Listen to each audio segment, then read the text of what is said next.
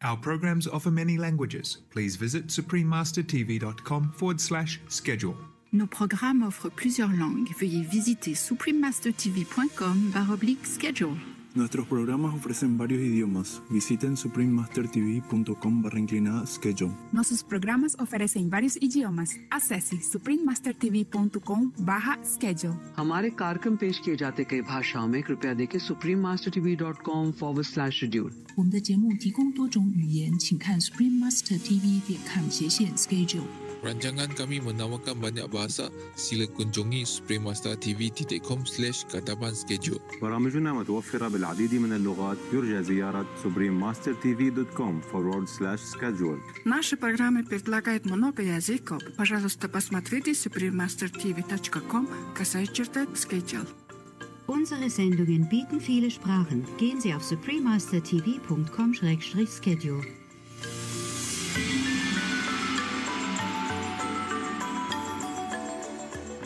phương pháp quan âm là quý vị yêu cầu sư phụ nói cho quý vị nghe đó là để cho mọi người biết được cái Phật tánh của mình. Đánh thức cái ông Phật ở trong tâm của mình vậy mà à, kêu bằng điều hành cái đời sống cho mình. Cho nên nó song suốt nó khỏe. Không phải dùng cái đầu óc phàm phu làm việc nữa.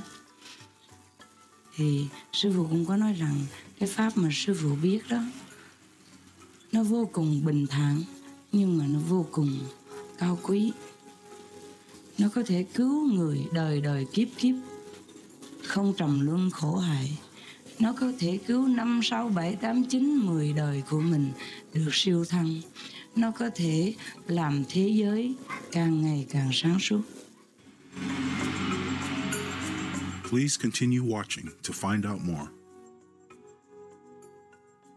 Supreme Master Ching Hai's lectures are not a complete meditation instruction. Please do not try alone. For free of charge guidance, please visit godsdirectcontact.org or contact any of our centers near you.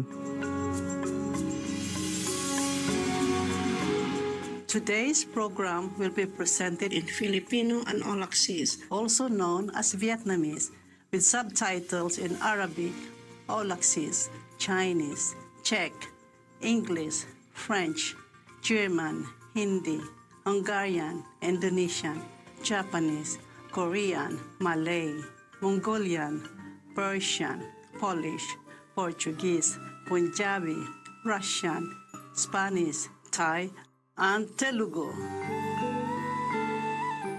Taos pusong pagbati, iliganting mga manonood. Ako si Nelly mula sa Bislig City ng Pilipinas. Ipinagdarasal ng mga magigiliw na mga Pilipino ang iyong kalusugan, kaligayahan at kapayapaan. Ang Pilipinas ay isang magandang bansa na binubuo ng 7,641 isla. Ang mainit-init na tubig nito na may kamanghamanghang mga coral gardens, ang mga puting mga dalampasigan, mga tropikal na tanawin at nakamamanghang buhay sa malalim ng karagatan. Ang umaakit sa maraming mga turista para maglakbay papunta sa mga isla nito bawat taon. Ang mga tao sa Pilipinas ay karaniwang nagmula sa mga katutubong Malay at may ilang Inchek, Amerikano, Espanyol at Arabikong lahi. Sila ay kilala sa kanilang pagkamagiliw at mapagpalakaibigan. Ang Tagalog ang pambansang wika na kasama ang Ingles ay nagsisilbing opisyal na wika.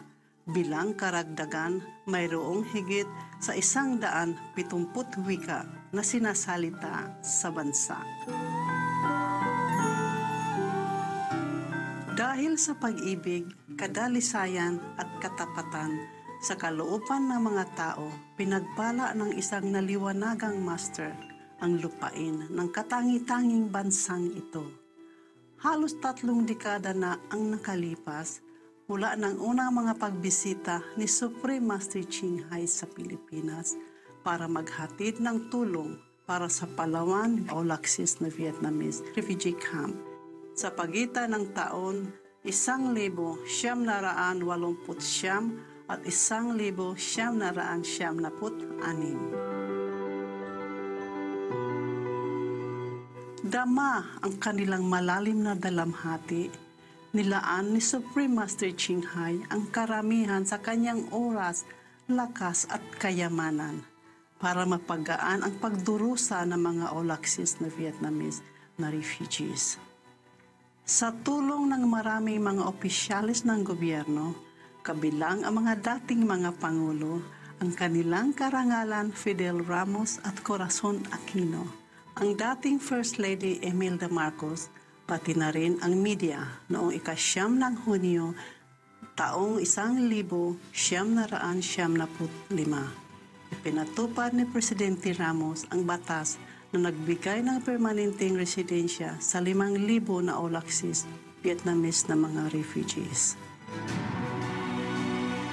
Sa ngalan ng lahat ng mga refugees sa mundo, taos pusong pinasasalamatan ni Supreme Master Ching Hai ang mga maawaing mga leader na ito na nagpatuloy sa mga Olaksis Vietnamese na refugees at nagpapakita sa kanila ng pagmamahal at dignidad. Pinarangalan niya ng Shining World Leadership Award for Compassion ang ikalabing dalawang presidente ng Pilipinas. Ang kanyang karangalan Fidel Ramos noong taong 2006, ang Pangulo ng Gusi Peace Prize Foundation, ang kagalang-galang Ginoong Manuel Morato, at isang senador ng Pilipinas, ang kagalang-galang na si Ginoong Hiherson Alvarez noong taong 2007. Kamakailan lamang noong ikalabing pito ng Disyembre taong 2018 pagkatapos matanggap ang isang liham ng pasasalamat mula kay Honorable Cecil Alvarez, ang dating tagapayo ng Pangulo sa Kultura at may bahay ng dating senador na Pilipinas na si Ginoong Hiherson Alvarez. Sa kabila ng kanyang busy schedule, ang ating minamahal na master ay mabilis at mapagpasalamat na nagpadala ng tugon. Hindi ko pa nalilimutan ang sayo at ang sayong kabiyak na marangal na pagkakaibigan at ang tulong niyo sa akin at sa lahat ng mga Vietnamese refugees na inyong pinrotiktahan kapalit ng iyong mahalagang oras at lakas at ang mga bagay na mula sa puso na higit sa kayang makita ng mga mata. Naway, pagpalain ka ng Diyos at ang iyong mapagmahal na kabiyak ng mahabang buhay, kalusugan at kaligayahan. Bukod pa rito, nagsumabog ang Mount Pinatubo noong taong isang libo siyam na raan siyam na put isa, bumalik si Supreme Master Ching Hai kasama ang mga miyembro ng asosasyon upang tumulong sa mga pagsisikap sa pagbibigay ng relief. Pagkatapos, noong taong isang libo siyam na raan siyam na put dalawa, nagbigay siya ng flood relief assistance kasunod ng mga landslides sa Pinatubo. Ang kanyang agaran ay walang pasubaling tulong sa mga panahon ng natural na kalamidad ay naaalala ng maraming mamamayang Pilipino. Si Supreme Master Ching Hai ay taus-pusong nagpapasalamat sa minamahal na Diyos para sa lahat ng pinansyal na tulong, pagdamay at suporta sa mga naghihirap at nangangailangan. At o sa anumang mabuting mga layunin sa mga nakalipas na taon bilang isang mapagpakumbabang sisidlan para sa kanyang awa at pag-ibig para sa kanyang pinakamamahal na mga anak. Nais ni Supreme Master Ching Hai ipaabot itong mensahe ng pasasalamat sa lahat ng gobyerno, organisasyon at relief workers sa bawat sulok ng mundo. Maraming salamat po sa lahat ng mga pang-internasyonal at nasyonal na tulong na naghahatid ng pag-aalaga at ng mga pangangailangan sa mga nagdurusa at higit na nangangailangan. Salamat sa lahat ng mga relief workers sa pagbibigay ng inyong oras at pagsasakripisyo ng sarili ninyong kaginhawaan, maging sa inyong paglalakbay ng malayo sa hindi ka nais-nais na mga daan at kondisyon para maghatid ng pag-ibig at tulong sa mga tao sa oras ng pangangailangan. Naway pagpalain kayo ng langit ng masagana sa inyong kabutihan at marangal na sakripisyo. Noong Nobyembre 22, taong 2006, si Supreme Master Ching Hai ay pinarangalan ng prestihiyosong Gusi Peace Prize para sa pagkakawanggawa at pagkamakatao. Katulad ng Nobel Peace Prize, pinararangalan ng Gusi Peace Prize ang mga natatanging mga tao at organisasyon na gumawa ng mga pambihirang contribution sa kapayapaan sa mundo. Ang seremonya ng award ay naganap sa Manila, Pilipinas, kung saan si Supreme Master Ching Hai kasama ang labing apat na iba pang mga manunulat ay formal na kinilala. Sa kanyang talumpati ng pagtanggap sa idinaos na seremonya ng Gusi Peace Prize, kanyang marapat na inilarawan ang kadakilaan ng mga islang ito at ng kanyang mga mamamayan. Land of the sun returning, land of love. That is the Philippines.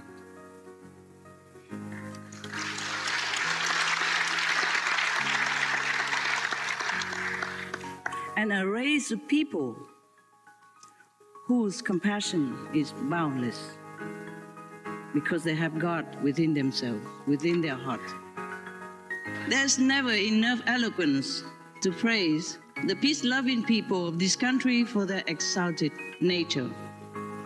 But the whole world will always bear witness to their monumental kind deeds, and heavens are forever moved by their exceptional charity.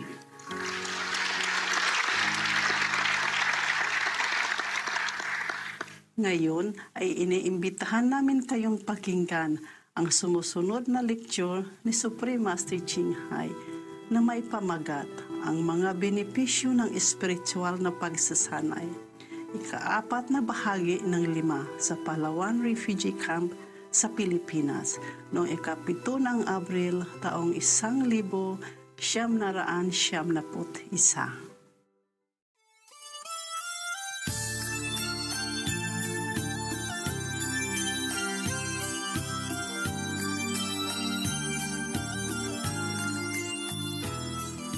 những người tu hành vẫn bị nhân quả như thường, chứ không phải tu hành xong là hết dạ, yeah. ví dụ như đức phật tu hành xong á tại sao mỗi một ngày bị nhức đầu à? ngài nói rằng ngày xưa bởi vì có đá, cái con cá chết rồi đó. Đá đầu nó coi thử nó chết hay nó sống, nó nhiêu đó thôi. Mà giờ ngài vẫn bị nhức đầu. Cái nhân quả mà mình đã gieo sẵn rồi đó, mình phải lãnh lấy. Nhưng mà khi mình tu hành rồi, mình không gieo nhân quả cho tương lai. Quý vị hiểu không? Thì tương lai nó không có sanh ra những cái nghiệp chướng cho mình. Chứ không phải những cái nhân quả cũ mình không lành. Nhân quả có hai loại cái bằng nghiệp chướng một cái cái bằng nhân quả đã định sẵn trong đời này và một cái nhân quả còn tồn kho để mà tương lai sử dụng. À. Thì cái nhân quả trong đời này đó, nó viết sẵn ra rồi. Thì cái con đường mình đi nó có như thế nào, như thế nào, như thế nào đó, thì mình phải gánh chịu. Có người tu hành ví dụ như tu pháp quán âm với sư phụ, thì cái nhân quả đời này mình phải gánh chịu chứ không thể, cũng không thể xóa đi được. Nhưng mà cái nhân quả tồn kho đó, để mà cho tương lai đó, mình có cách đốt đi, có cách xóa đi. Thành ra không còn trở lại đời sau nữa. Cái quả đó kêu bằng quả a la hán hay là tu đà hoàng là có thể trở lại một đời nữa. Thích nhất là quả tu đà hoàng. Thế khi mình gặp một cái pháp, chánh pháp á, thì mình có thể cứu được mình như vậy còn, tức là cái tại sao mà cái cái bằng chánh pháp làm cho mình biết được cái phật tánh của mình, biết được cái ông phật của mình, được cái ông phật mình, ông ông ông thức dậy, ông làm việc, ông săn sóc cho cái cuộc đời của mình, hả? Không ai săn sóc cuộc đời mình một cách minh bạch bằng ông Phật của chính mình cả. Cái phương pháp quan âm là quý vị yêu cầu sư phụ nói cho quý vị nghe đó là để cho mọi người biết được cái Phật tánh của mình. Đánh thức cái ông Phật ở trong tâm của mình vậy mà à, kêu bằng điều hành cái đời sống cho mình cho nên nó song suốt nó khỏe. Không phải dùng cái đầu óc làm phu làm việc nữa. Thì sư phụ cũng có nói rằng cái pháp mà sư phụ biết đó nó vô cùng bình thản nhưng mà nó vô cùng cao quý. Nó có thể cứu người đời đời kiếp kiếp không trầm luân khổ hại. Nó có thể cứu năm sáu bảy tám chín mười đời của mình được siêu thăng nó có thể làm thế giới càng ngày càng sáng suốt. Bắt đầu từ ngày có bao nhiêu người bắt đầu tu hành cái pháp phật đó thì cái thế giới nó biến cải rất nhiều. Nhưng mà cái điều này sư phụ lẽ ra không nên nói tại vì mình không thể chứng minh. Thôi. À, cái vấn đề cái vấn đề chính trị và vấn đề cái đời sống cái cái cái, cái trần gian á cái sự việc của trần gian nó vô cùng phức tạp. Nó vô cùng vô thường rất là vô thường. Bữa nay làm tướng, mai làm làm tù. Chuyện thường lắm. Bữa nay là phe ta, mai là phe địch. Nó khổ gì mặc dầu thí dụ như sư phụ có bao nhiêu tiền, bao nhiêu thời giờ đi nữa, nhiều khi chị cũng không kịp. Cái đà thay đổi của cái thế gian này. Mình chỉ còn ở nước là cầu nguyện trời Phật phù hộ cho dân tộc tị nạn Việt Nam và dân tộc Việt Nam nói chung để cho sư phụ làm cái gì nó cũng có cái sự may mắn vậy thôi. Chứ nếu mà cái cộng nghiệp của mình lớn quá, nhiều khi Phật trời cũng đành khoanh tay. Cũng như đức ngài, mẹ của ngài một kiền liên xa xuống địa ngục vô gián một kiền liên là đệ tử ruột của Phật, thần thông đệ nhất. Xuống địa ngục thăm mẹ như đi chợ vậy cũng được nữa, mà cứu không nổi ha bao nhiêu người bà con nó siêu thân hết rồi, có lọ của mình bà mẹ đó thôi cho nên quý vị đừng nói theo Phật là, là không có được siêu thân nếu không được siêu thân thì ngày một quyền liên xuống địa ngục gặp bà con dòng họ đủ thứ sao không ai không gặp ai gặp mình mà mẹ không vậy? Bởi vì bà nó nặng quá. Phỉ bán tam bảo làm thịt chó cho học trò của Phật ăn. À. gạt gẫm chửi bới Phật và học trò. Cho nên có một mình mẹ của ngài lọt ở dưới thôi. Nhưng mà tuy vậy Đức Phật cũng cứu được thấy không? Nếu không có Phật không ai cứu được bà. Vô gián là gì? Là không bao giờ chấm dứt cái địa ngục đó. Đời đời kiếp kiếp đó. mà hết hành hạ tới này tới hành hạ kia, không bao giờ chấm dứt, kêu vô gián. Địa ngục là địa ngục nặng nhất. Vậy mà có Phật tại thế, cũng cứu được như thường. Mặc dù Phật nói dẫn dẫn còn ai ta cứu không được đâu. Bà tụ nặng quá đi. Phải kêu hết chúng tăng lại rồi rồi cúng dường tùm lum đó mới cứu được. Tại sao? Phật là người khiêm nhường. Thứ nhất, Phật muốn cho tất cả mọi người nhân cái dịp đó, Phật muốn vậy cho tất cả mọi người phải kính trọng Phật pháp tăng, chứ không phải kính trọng Phật không, hiểu không? Phật không muốn dành hết cái danh dự cho mình. Người thành Phật là họ như vậy. Họ làm việc rất là khiêm tốn. Đi bưng đi bình bát, tự mình đi, tự mình đi khất thực đó. Đệ tử nhiều như vậy đó mà ngài đâu có làm cao, thấy không? Một người rất là bình thường, cho nên nói rằng tâm bình thường là đạo. Còn làm càng kiêu kỳ chừng nào, kiểu cách chừng nào đó, không phải là phật không bắt người ta lại dài, lại tới, lại lui kiểu lại mình á. Làm nô lệ cho mình nó không phải phật. Phật không có như vậy. Mình bán đi là cái người, cái bằng đã hạ mình thấp nhất trên thế gian rồi mà muốn ai lại làm cái gì? Thấy chưa? Nó lại tại cái phong tục của ấn độ nó lại gì bây giờ cũng vậy thôi. Bây giờ người ấn độ mà gặp một người nào tu hành á, hoặc là một người mặc áo cà sa đó, là họ sập xuống họ lại liền á. Chứ chưa nói chi những người thành phật thì bây giờ cái pháp phật nó là như vậy nha. Pháp phật nó là như vậy. Khi mà mình học được cái pháp của phật á ừ, pháp môn quan âm là pháp phật nha. Trong kinh lăng nghiêm có nói á, tu pháp môn quan âm á thì tinh thần vật chất cái gì cũng song số hết. Ừ. thì khi mình học được pháp phật này có lợi ích như vậy thì cái cái cái cái pháp mà sư phụ biết á là nó như vậy đó. Nó lợi ích vô cùng như vậy. Mà không phải sư phụ dám nói vọng ngữ bởi vì không phải một mình sư phụ tu pháp này, mà bây giờ rất nhiều. Toàn thế giới đều tu cả. Đều có người tu, toàn thế giới đều có người tu pháp này cả. Mà qua những cái kinh nghiệm của những người học trò của sư phụ sư phụ biết rằng, có thể chứng minh rằng cái phép này nó vô cùng lợi ích như vậy, nó vô cùng kỳ diệu như vậy. Nhưng mà sư phụ rất là ngần ngại mà nói ra bởi vì những cái chuyện này ít có ai mà nói ra lắm. Và ít có khi nghe được lắm. Nghe không quen đó thì nó nó hơi trái lỗ tai. Rồi nhiều khi chỉ nghe một lần thôi nó không có đầy đủ chi tiết. Rồi sợ hiểu lầm. Thành ra ngày hôm qua hôm kia sư phụ à, quý vị cứ yêu cầu sư phụ nói pháp. Sư phụ cũng có nói như vậy đó. Bởi vì sư phụ ngần ngại nói ra. Thứ nhất thứ hai qua đây không có chuẩn bị hoàn pháp mà chỉ muốn thăm quý vị hiểu rõ tình hình ở đây cho nó thêm. À, cho nó khi mà sư phụ đi tiếp xúc với những người khác nói chuyện cho nó có vững chắc nó có cái cái bằng chứng rõ rệt hiểu chưa? Vậy thôi. Chứ sư phụ không phải đến đây để muốn bắt buộc quý vị hoặc là à, cái bằng gì? Để cho quý vị theo sư phụ học cũng có. Sư phụ biết rằng theo sư phụ rất khó những người ở ngoài tự do kia muốn ăn uống gì cũng được mà người ta bỏ thịt còn khó thay. Huống chi quý vị trong đây kinh tế eo hẹp người ta phát gì ăn lấy làm sao có sự chọn lựa để ăn chay được? Sư phụ không biết cái tình trạng của quý vị khó khăn. Nhưng mà thật ra sư phụ đến đây thấy cái tình, tình trạng của quý vị còn có hy vọng hơn là sư phụ nghĩ ở trong đầu còn tốt có tốt đẹp hơn là sư phụ đã đã tưởng tượng thấy chưa? Tức là có người còn đi làm được nghĩa là có, có thể mua mua đồ rồi ăn được. Chứ trước khi sư phụ đến đây sư phụ nghĩ rằng đại tị nạn à, như tại hồng kông á. Vậy mà hồng kông có biết bao nhiêu người ăn chay theo sư phụ uh, theo sư phụ truyền tâm ấn rồi có chín mười mấy người xuất gia đó. Mà xuất gia vắng mặt đó. Tức là kêu học trò sư phụ ờ, cạo tóc giùm nữa chứ sư phụ không có mặt á. Mười mấy người xuất gia trong trại hồng kông. Sư phụ tưởng rằng quý vị ở đây tình trạng nó cũng vậy tại vì nếu mà cái lúc truyền tâm ấn không có sư phụ ở đó đó thì không có được truyền tâm ấn liền. Khi mà có sư phụ ở đó thì truyền tâm ấn chỉ nghĩa là bắt buộc từ hôm nay trở đi phải ăn chay thì được. Mà có sư phụ mới được vậy. Còn không có sư phụ phải ăn chay 3 tháng 6 tháng.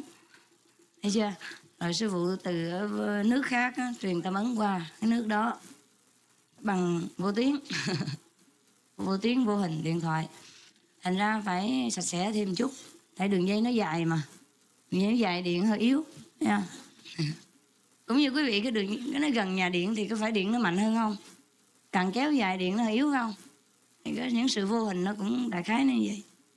Thành ra thành ra học trò sư phụ mặc dù nó truyền tâm ấn rồi, mà cũng vẫn thích kè kè theo bên đừng dòm.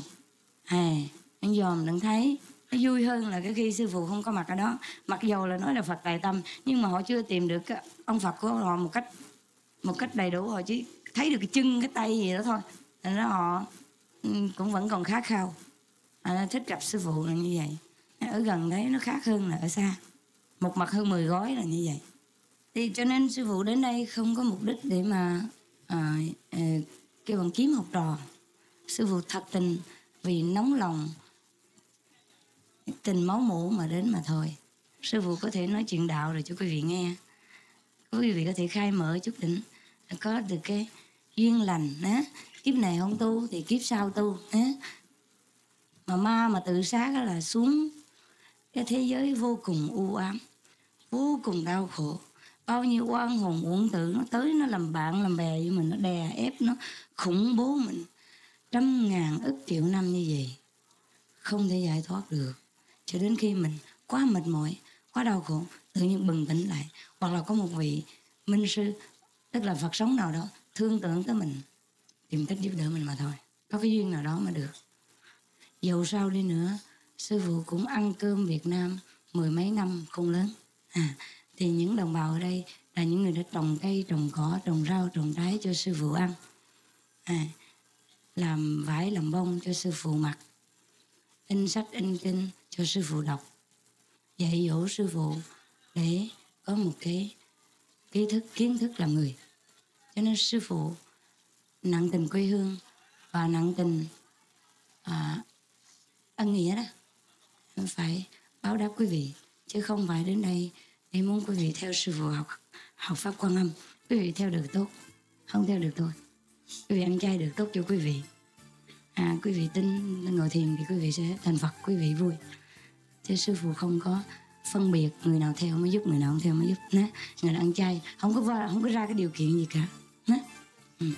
nhưng mà quý vị yêu cầu thì ra bữa nay sư phụ mới nói những việc này. Thì bây giờ quý vị đã hiểu được bao nhiêu, hoặc là không hiểu được bao nhiêu, thì sư phụ cũng xin tạm dừng ở đây.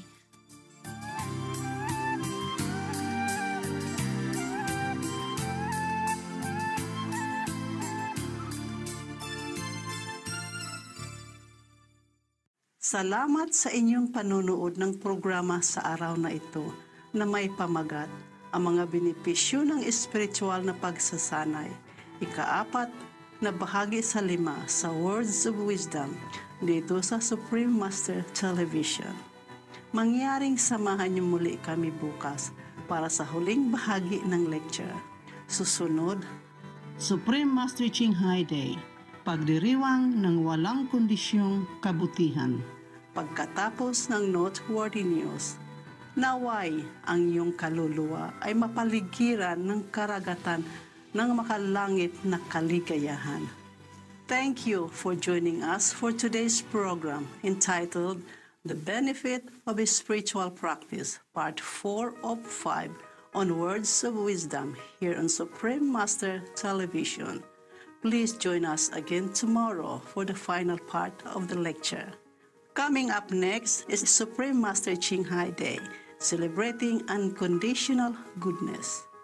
Right after noteworthy news, may your souls be immersed in the sea of heavenly bliss. Our programs offer many languages. Please visit suprememastertv.com forward slash schedule and suprememastertv.com forward slash WOW. Nos programmes offrent plusieurs langues. Veuillez visiter suprememastertv.com baroblique schedule et suprememastertv.com baroblique WOW. Nuestros programas ofrecen varios idiomas. Visiten suprememastertv.com barra inclinada schedule y suprememastertv.com barra inclinada WOW. Nossos programas oferecem vários idiomas. Acesse suprememastertv.com barra schedule e suprememastertv.com barra WOW. हमारे कार्यक्रम पेश किए जाते कई भाषाओं में कृपया देखें Supreme Master TV dot com forward slash schedule और Supreme Master TV dot com forward slash W O W 我们的节目提供多种语言，请看 Spring Master TV 点 com 斜线 Schedule 和 Spring Master TV 点 com 斜线 WOW。 Rancangan kami menawarkan banyak bahasa. Sila kunjungi suprememastertv.com slash kehadapan schedule dan suprememastertv.com slash kehadapan WOW. برامجنا متوفرة بالعديد من اللغات يرجى زيارة suprememastertv.com forward slash schedule و suprememastertv.com forward slash WOW Наши программы предлагают много языков. Пожалуйста, посмотрите suprememastertv.com, касай черта Skychill и suprememastertv.com, касай черта WOW. Unsere Sendungen bieten viele Sprachen. Gehen Sie auf suprememastertv.com-schedule www.supreme-schedule und suprememastertv.com-wow.